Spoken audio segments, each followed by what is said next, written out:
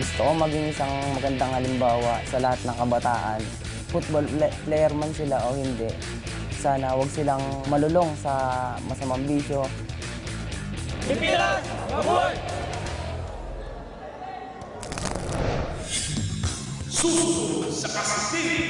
Mga tao rito, ever since I was born, mahilig na sa football eh. nag-champion ang Barutak Libo sa National Cup.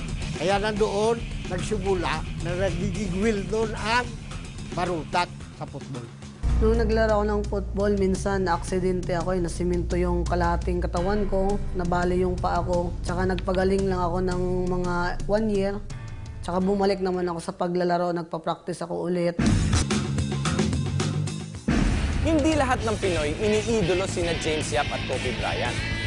Sa ibang parte ng Pilipinas, may mga lugar na sina David Beckham o kaya si Ronaldinho ang hinahangaan. Kumbaga, imbis na Boston Celtics, Manchester United yung paborito. Sa mga lugar tulad ng Barotac Nuevo sa Iloilo, kung saan noon hanggang ngayon, football hit.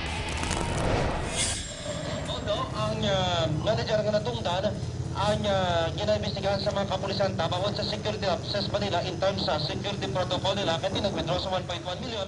Mga tao rito, ever since I was born, mahilig na sa football eh. Parang tradisyon na rin lang na ang football, pinapasa-pasa rin sa mga bata. Kung hindi ka marunong mag-football, parang outcast ka. Kailangan marunong ko talaga. Ni security guard nga na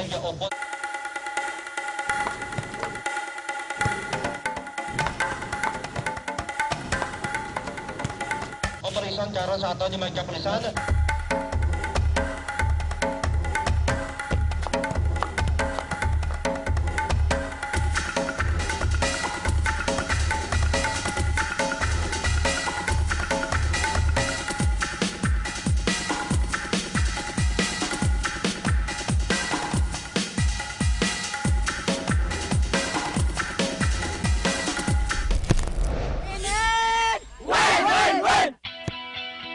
sa lahat kasi ang ano ng ah, mga Ilonggos, parang mas makakompete sila sa football as a sport. Laro yung tatay namin, nanonood kami.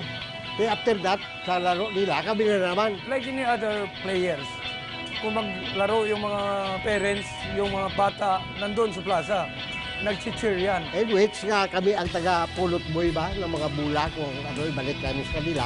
It's a prestige for them na, na to see their sons playing football.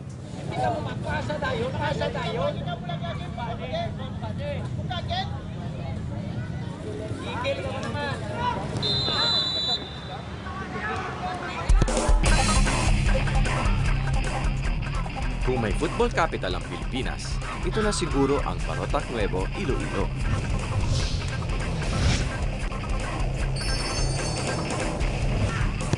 Katunayan, mahigit kalahati ng mga manlalarong napapabilang sa ating national football team ay hinugot mula sa Barotac Nuevo. kahit anong edad, babae man o lalaki, lahat baliw na baliw sa football talaga. Kita nyo naman, yung iba dito nakayapak pa maglaro. Talagang football ang kanilang pinaka-paboritong sport.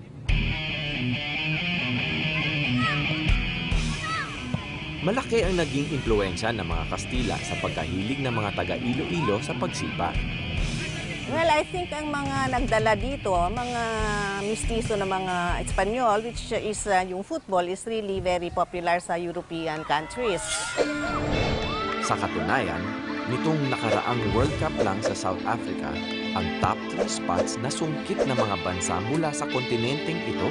At ang kampiyon, ang bansang nagpakilala sa atin ng football, ang Espanya. Kaya kasila ang lugay din sa Iloilo. Hanggang na punta dito sa Barutat, ang mga tao na yan, pariyo rin sa La Paz, Santa Barbara, Pututan, ayan ang mga uh, mga bayan na naglalaro ng football. Hindi lang krus ang dala ng mga Espanyol sa Pinas, kundi mga bola para sa soccer field. Lahat na major tournament sa Manila, pinag-anuhan namin hanggang nag-champion ang Barutak Libo sa National Cup the year 1979. Kaya nandoon, nagsimula na nagigigwil doon ang barutak sa football. The football capital of the Philippines. Sa mga plaza, sa mga malalawak na damuhan ng barotak, kahit saan ka lumingon, football ang iyong makikita.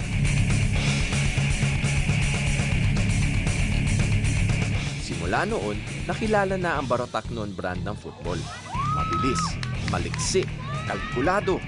Para bang tulad ng mga manlalaro sa Latin America.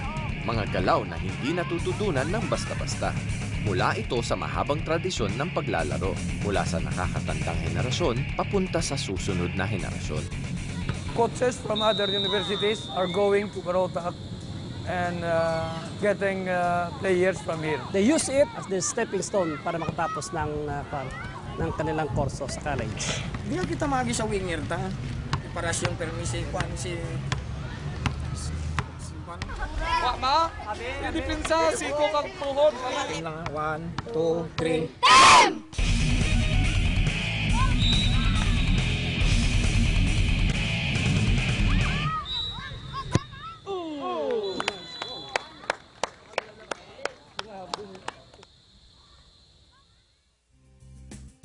Para sa mga taga-Barotak, ang football ay higit pa sa isang tradisyon. Ito ang bumubuo sa kanilang pagkatao bilang isang tunay na Barotak noon. Well, nakikita mo naman na mula nung panahon na dala-dala ng mga Kastila yung football dito sa Barotac, hindi na nila binitawan, tuloy-tuloy. Hindi na sila nahilig masyado sa basketball o kaya sa ibang sports. Talagang wala nang ibang sport dito sa Barotac Nuevo.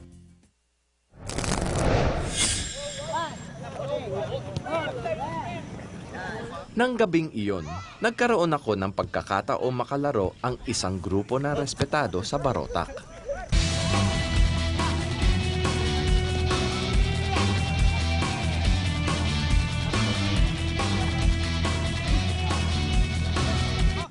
Ito ang grupong kung tawagi Tamasak.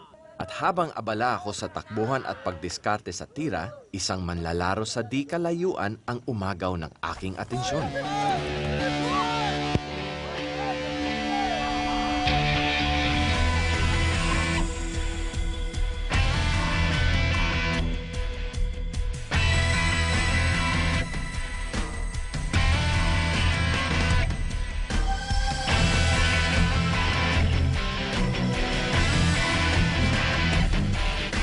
Ako po si Mark Montaño, futbolista ng Barotac Noibo, Iloilo.